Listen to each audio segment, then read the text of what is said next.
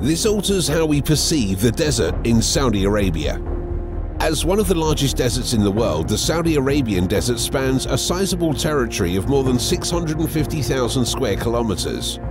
With daily highs frequently topping 120 degrees Fahrenheit, the area is renowned for its severe heat.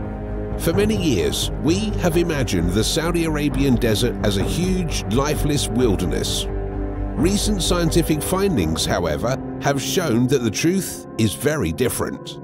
What horrifying finding has been reported in Saudi Arabia? Let's find out. The existence of ancient riverbeds and lakes beneath the desert's surface has been one of the most exciting findings. These findings have convinced scientists that the area was previously covered in a lush green environment like the Amazon rainforest. The region grew desolate and hostile as a result of the changing environment over time. The remains of extinct species that have been preserved in rocks, silt, or other substances are known as fossils. The discovery of fossils is a crucial step in comprehending the evolution of life on Earth and offers important information about how various species have changed over time. Scientists have found a number of surprising and fascinating fossils in the Saudi Arabian desert. A group of dinosaur footprints that were found in the Rub al Khali Desert in 2020 was one of the most amazing discoveries. A group of foreign academics who were investigating the region's geology came across the footprints. They discovered a collection of odd patterns that resembled footprints while utilizing drones and satellite pictures to study the surface of the desert. When they looked more closely, they found a group of well-preserved dinosaur tracks that had been created in a muddy swamp. The footprints are important because they shed light on the habits and movements of these extinct animals. Since it was previously thought that Saudi Arabian desert was too hot or arid to maintain such big and diversified groups of dinosaurs, they also present a challenge to our understanding of the past of the area. In the Saudi Arabian desert, in addition to dinosaur footprints, researchers have now also found an old finger bone that might indicate how humans left Africa. This could rewrite a crucial chapter in the history of humanity concerning the origin and global dispersal of our species in Africa.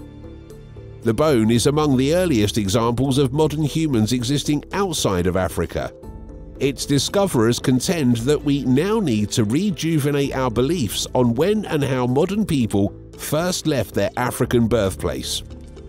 The finger bone was discovered by Huw Groucutt from the University of Oxford in the UK and his colleagues at a location named Al Wusta in what is now the Nefud Desert. Uncertain whose finger it belongs to, it is the second bone in from the fingertip. The team immediately identified the bone as human and later validated their identification by comparing it to the finger bones of other humans, extinct homins like the Neanderthals, and other primates like gorillas. Using exact methods that depend on the radioactive uranium's disintegration, they were able to date the bone in question directly. According to the research team, the bone is at least 85,000 years old Many archaeologists have long held the view that our species only emerged from Africa 70,000 years ago, spreading quickly from there into Asia and Europe before arriving in the Americas. But a number of discoveries in the Levant, which is the region east of the Mediterranean and including nations like Israel and Syria, have made that tale appear more tenuous. It appears that people were present here more than 100,000 years ago.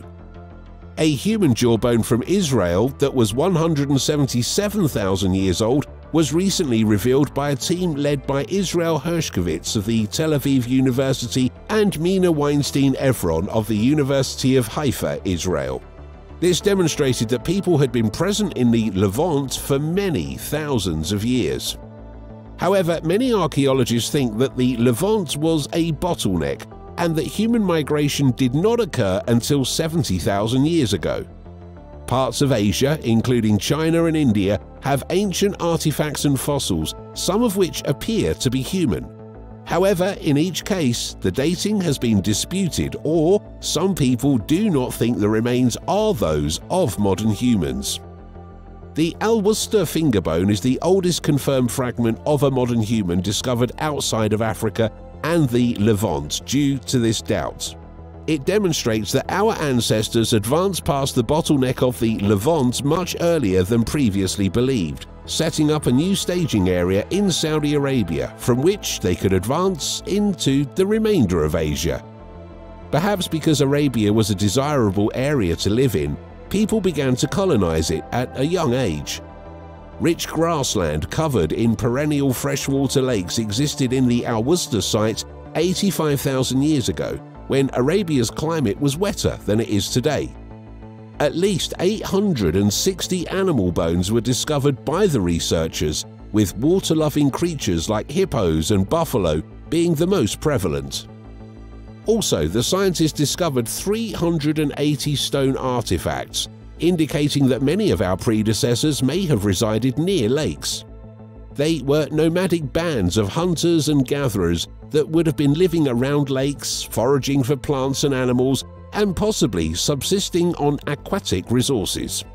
The discovery contributes to a long-running debate on how humans left Africa. Did they depart Africa by crossing the Middle East to what is now Iran, travelling up the Nile into the Sinai and then across the region? Or perhaps when water levels were sometimes lower during the last ice age, they could have crossed or navigated past the Red Sea into Arabia before going straight to Iran via the Persian Gulf.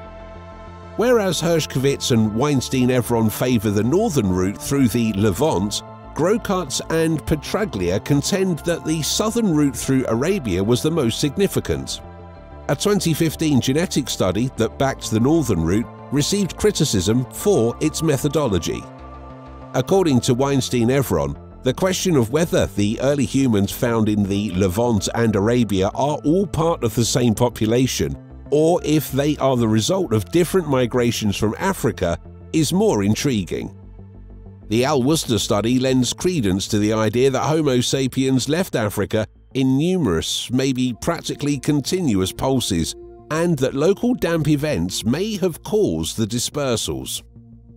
Other fossils have been discovered in the Saudi Arabian desert, including prehistoric fish and the remnants of a whale that lived more than 30 million years ago.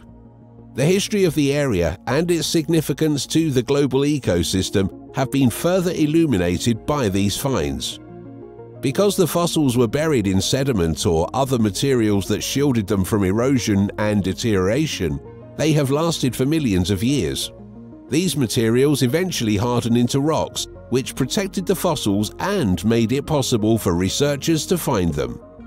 Overall, the discovery of fossils in the Saudi Arabian desert has challenged our preconceptions of the region as a lifeless wasteland while offering insightful information about its past. The significance of safeguarding the area's natural resources and conserving its distinctive cultural legacy has been brought to light by these discoveries. On the other hand, we may now finally understand why enigmatic patterns are visible throughout the Arabian desert. Researchers have located thousands of enormous stone constructions all over the Arabian Peninsula, from Jordan to Saudi Arabia to Syria, Armenia, Kazakhstan and Iraq. British Air Force pilots initially noted the V-shaped arrangements in the 1920s, and for more than a century, specialists have argued over their purpose. New satellite photographs and drone surveys in Saudi Arabia's Uwayrai Desert have confirmed a widely held belief. These ancient stone designs, sometimes known as desert kites, are currently being studied by archaeologists who believe that they were most likely mass hunting traps. Recently discovered in Uwayrai are dozens of previously undiscovered desert kites, all of which appear to have been constructed with a familiar purpose in mind. The V-shapes indicate various things, such as a hole, a sudden cliff, and an enclosure. All three patterns imply that wild animal herds were formerly herded into desert kites and flown to their demise or imprisonment. Although more research is required to determine exactly what animals were being herded into the recently discovered traps, the fact that they have been found in various regions of the Arabian Peninsula implies that this was a common and successful survival tactic. archaeologists have discovered thousands of more stone buildings and hundreds of stone kites further south, for instance. As opposed to those in the Uwari Desert, desert kites farther south are typically more intricate and focused. They occasionally mix several V shapes. Because of their propensity to appear in sandy areas that would have formerly supported seasonal grasslands, archaeologists have previously claimed that these buildings were utilized as hunting traps. The vegetation most likely supported migratory goats, gazelles, and other herding animals. Several prehistoric rock art depictions from this period also show the employment of kite-like devices to funnel animals. One of the earliest attempts at domestication discovered anywhere on the globe may have been made using some kites based on the way they were built. Another recent study on desert kites notes that it is not unusual to find a variety of kites in one area. Some of these kites have end openings to pits, while others have end openings to enclosures. It's possible that kites and open kites were in use at the same time, establishing related but distinct hunting strategies. The development of one technique may have paved the way for the other over time, with primitive types of proto-kites preceding the more developed and standardized varieties of desert kites. To discern between these two alternatives, more study is required. Neolithic society's picture may eventually shed light on how early humans first started hunting and domesticating animals. Perhaps the first step in our species' ability to breed and raise wild herds as our own was getting up close and personal with them. Yet not all of these desert kites components are necessarily useful. In even bigger stone constructions called mustatils, which can extend for kilometers, some kites have been discovered embedded. A block pattern of mustatils, the Arabic word for rectangle, resembles a gate when viewed from above. Archaeologists have recently discovered several hundred mustatils in the Arabian desert, but they are still unsure of their purpose. In spite of the possibility that they served as religious or ceremonial structures for animal sacrifices or feasts, their connection to desert kites raises the possibility that they were also employed for water storage or animal corralling.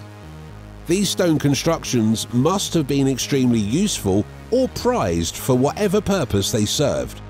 They encircle the area and preliminary dating efforts indicate that they have been present on the Arabian Peninsula for a very long time. Although Saudi Arabia's desert kites have been well known for years, the scientific community has paid them surprisingly little attention. The ball is finally starting to move after years of archaeologists advocating for further investigation into the remains of these ancient societies. Beginning in 2022, archaeologists conducting research in Saudi Arabia discovered a 530 kilometre wide network of abandoned motorways in the northwest of the country. Thousands of twisting stone burial chambers flanked those ancient pathways, which appeared to connect one oasis to another. A lot of these oases also had desert kites. The highways were discovered by archaeologists who believe that ancient nomadic peoples who were seeking out the greatest lands and climates use them. Archaeologists are seeking to retrace their steps thousands of years later. These findings have generally refuted the notion that the Saudi Arabian desert is a dead wasteland and have brought to light the region's significance to global ecology and human history. Thanks for watching another episode of Voyager. While you're still here, make sure to click the video on your screen for more mind-blowing videos about space.